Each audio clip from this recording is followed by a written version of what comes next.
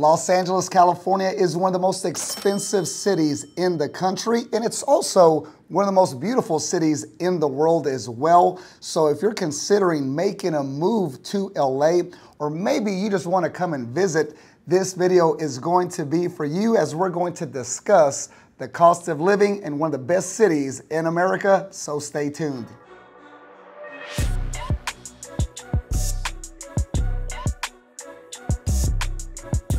If you're new to the channel, my name is Richard Soto, a local real estate broker with VIP Realty, the premier firm in real estate, and we do weekly videos discussing what it's like to live, work, and play throughout the great state of California.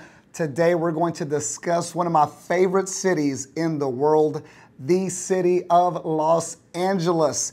This city can offer you so much, whether you're single and ready to mingle, or maybe you're a family man like myself. Whatever it is that you're looking for, you can find it right here in the city of LA.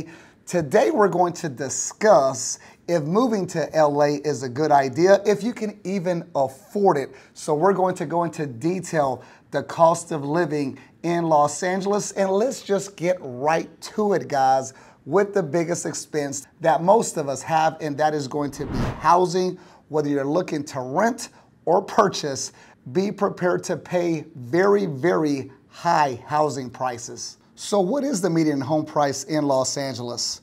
Homes for sale in LA have a median listing price of around 1.2 million. And if you need to put that home on the market, the average days on market is going to be around 50 days. However, Obviously, if you call your boy Richard Soto with VIP Realty, we're going to get that home sold a lot faster and for a lot more money with less hassle. Now, that's my commercial for the video. Now, let's cover some of the most popular neighborhoods and the median prices. Home prices in Hollywood Hills are going to be around 3.2 million.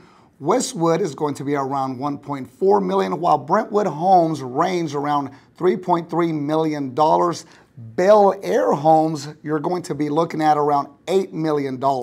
Now, if that's a little bit out of your price range, which it is for the majority of people in the world, you can always head to downtown LA where the median price range is going to be around $650,000. So if you're looking for a maintenance-free lifestyle and you want to take in some beautiful views, and be conveniently located where you can walk around to some shopping, some restaurants, some bars, some pubs, downtown LA is going to be a great choice for you. Or maybe that's just the only place where you can get a decent home at a fair price. Now, maybe you're not a home buyer, you prefer to lease as you like to come and go and be free to roam the world, then the average rental rate in LA is going to vary tremendously. The average rent for apartments in LA are between 2300 and 3800 in 2024.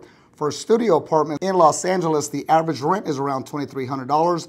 And when it comes to a one bedroom apartment, the average rent in LA is going to be close to $2,800, while a two bedroom apartment averages around $3,800. As you can see, whether you're looking to lease or purchase, it's going to be rather expensive no matter what, especially when you compare it to other parts of the country. I go back and forth to our Texas offices and I can assure you, you can purchase a brand new construction home in a good, desirable area and your mortgage payment is probably going to be around $4,000. So uh, depending on your lifestyle and your pocketbook, LA might be a great place to call home, or it might be just too dang expensive. Now, let's move on to entertainment, things to do, and I'm all about having fun. I work extremely hard throughout the week, most times 60, 70 hours, and I love every second of it. However, when I do have some downtime, I enjoy taking my boys out on the town, having a good time. So let's cover some of the costs that you could expect. The average cinema ticket in LA is going to be around $17.50, while a museum ticket is going to be around $10. If you'd like to check out the LA Lakers, be prepared to spend around $450. Most gym memberships are going to run you around $60. Los Angeles is also going to offer some of the best dining and nightlife. I definitely partake in the dining as we go out to eat at least two to three times a day as we are constantly on the road. And two, my son refuses to eat even my scrambled eggs. So uh, it's mandatory that we go out to eat. And you can find food trucks throughout the city of LA, maybe eight to 10 bucks for some tacos, or you can go down Rodeo Drive and enjoy some fine dining. So whatever your budget is in regards to food, you can definitely find it in LA. The average dinner for two at a mid-range restaurant is going to cost you around $120. Cocktails are going to be around $16, or you can just hit up McDonald's for around $12. If you're going out for a drink, a domestic beer, you can expect to pay $8. If you'd rather not spend any additional funds living in LA, the great thing about living in Los Angeles is there's going to be a ton of hiking trails. You can always go to the beach, suntan. As you can see, I am not one who needs the suntan, but we definitely go to the beach, throw the football around, and just hang out and enjoy the views and people watch as there's a ton of characters coming and going at all hours of the day. So plenty of free entertainment as well in the city of Los Angeles. As I stated earlier, I have two boys, and when I had my first one, Caleb Israel Soto, I could not afford childcare, which is going to be our next topic. I had just started in the real estate industry and I was having a heck of a time to getting the ball rolling. So I was unable to take him to a proper childcare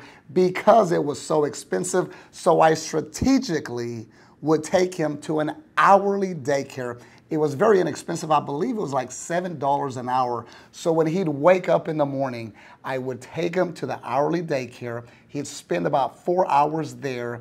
I would pick him up right when it was his nap time and he'd sleep for two to three hours again. So I was able to strategically plan my workday around his little nap schedule because daycare can be so expensive, especially for new families. So let's cover what you can expect to pay in childcare in Los Angeles. According to the latest MIT data, you can spend around $15,050 for the annual cost of childcare in Los Angeles. For two children, expect to pay over $30,000.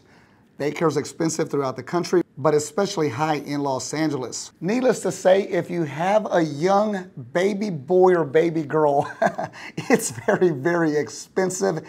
And I was so grateful when my oldest son was able to go to kindergarten and I didn't have to pay the daycare, I thought I hit the lotto. So daycare, very expensive, not only in LA, but throughout the country. Now let's move on to our next topic, and that is going to be transportation.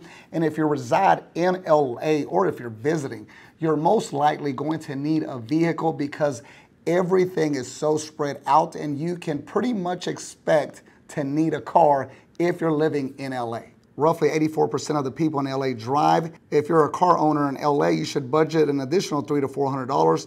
This is to cover expenses like gas, car insurance, and parking, which is going to cost you around 10 to $20 daily. Or if you're like me, who's all over town throughout the day, it can definitely add up. I despise having to pay for parking, but if you're not used to that, you might as well get used to it if you're moving or visiting LA. Now, if you don't drive, the best option is public transportation. While LA's public transportation might not have the best reputation, the Public Transportation Authority is implementing new routes and connections to improve safety, cleanliness, and frequency. These are just some of the main costs that you can expect if you reside in Los Angeles. Everyone's budget is a little bit different. However, the average budget for one person, you can expect to budget around $3,500 right here in LA. Living expenses in Los Angeles are twice as high as the US average, yet the average monthly salary in LA is around $7,300, which is higher than the national average of $6,600. So while the cost of living in Los Angeles is high, so are the salaries. So you can definitely offset your living expenses because you should be earning more money However, once again, everybody's lifestyles and budgets are completely different. Now, if you are considering moving to Los Angeles or throughout the great state of California, my team and I at VIP Realty would love to assist you with your next real estate transaction. Whether you're looking to lease or purchase, we are here to assist you with all your real estate needs. I love the city of LA. It has so much to offer. However, it definitely can be very, very expensive. But if you're frugal and you're able to budget properly, you can definitely enjoy the city of LA without earning a ton of money.